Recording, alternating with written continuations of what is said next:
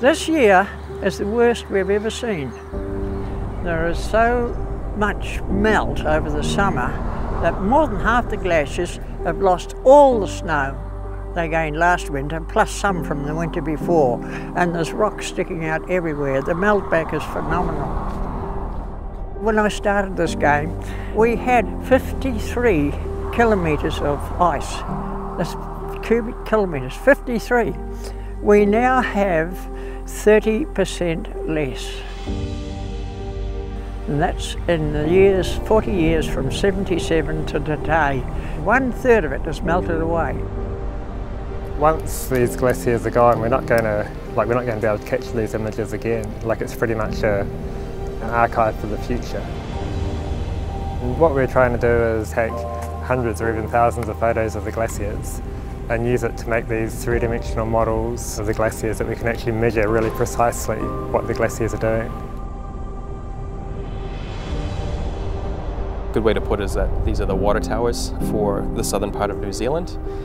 If we go into a climate in the future where our precipitation changes, that's our storage, that's our bank.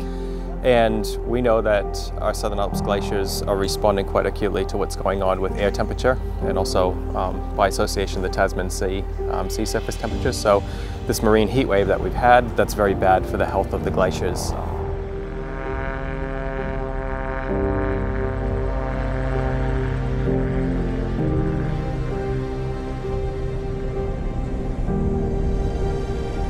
The conditions are so changeable um, and having expert guidance from the pilot, the conditions on the day to weave us in and out of cloud cover, that's really useful. Um, so we're really grateful to have such an experienced pilot like Andy with us.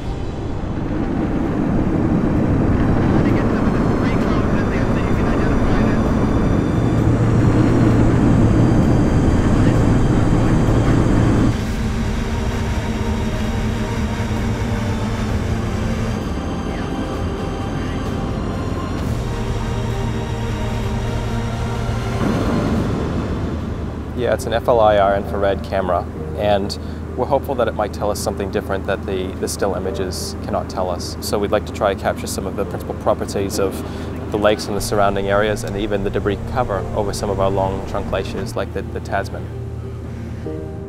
The glacier is the best climate change indicator you can use. It is everything in the climate that changes the volume of a glacier. You know, you can say what you want about temperature on the ground, but you can't make a glacier lie. I feel um, mixed emotions about it in many ways, and we often don't use that term emotion in science, but um, it is a bit emotional for, you know, if I put myself in Trevor's shoes, he's seen these glaciers during much better years, and they must be like seeing attrition of a child, and for him, because he knows them all intimately. Um, for me, I'm just getting started and I'm thinking, okay, he's handing the baton off. What's going to happen and how are we going to feel, you know, when we're his age?